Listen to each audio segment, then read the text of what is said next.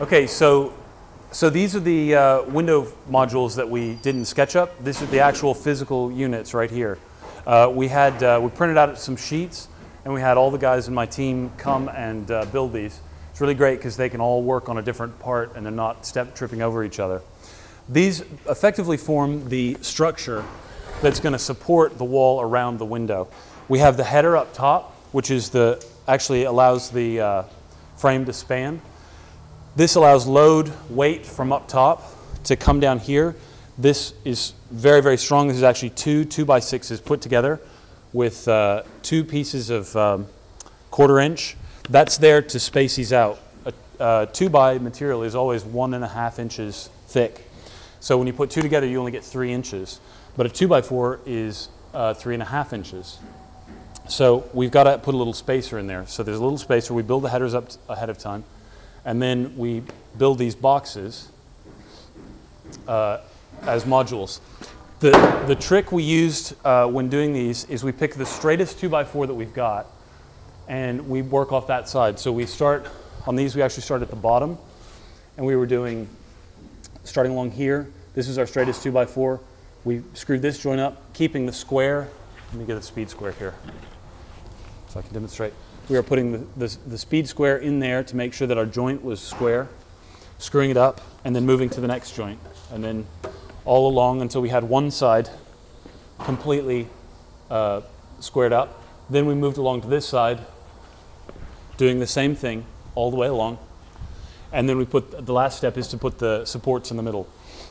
So this is going to be the window head. It's going to stand up just the way I lifted it. This will be the window head, and that will be the window sill, and then that's uh, where the floor is. This will actually sit on the floor, just like this. So I'll be looking out of the window like this. It's really nice. We've got a nice flat concrete surface. You could do this in a garage. Anywhere you, you've got a nice flat concrete surface, and it, it makes a really nice, uh, a really nice surface. The cool thing about this is it's like a way of prefabricating. So you could actually be, as you find windows for your tiny house, you could actually be building these modules in your garage storing them there, and then when you go to frame them, all you have to do is attach this to the bottom plate, attach it to the top plate, and then tilt the whole thing up as a wall. You're going to see that step next. So, yeah, we need to allow a little space wider than the, than the jamb, the window jamb, uh, the window, the box that supports the window. We need to allow usually about an inch is good because when we get this up in place, we want to make sure that our window is perfectly plumb, which means perfectly vertical and perfectly level uh, across the horizontals.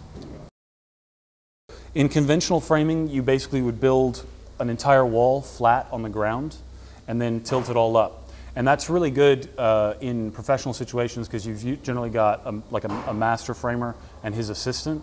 And so he knows, he's keeping track of the dimensions and doing it all. But if you had more than two or three people working on a wall, they tend to kind of trip over each other. In this situation, uh, we can have, we can distribute these. So we've got one group working over here, one group working over here. Uh, and then this also gives the advantage that I was talking about when we were in SketchUp.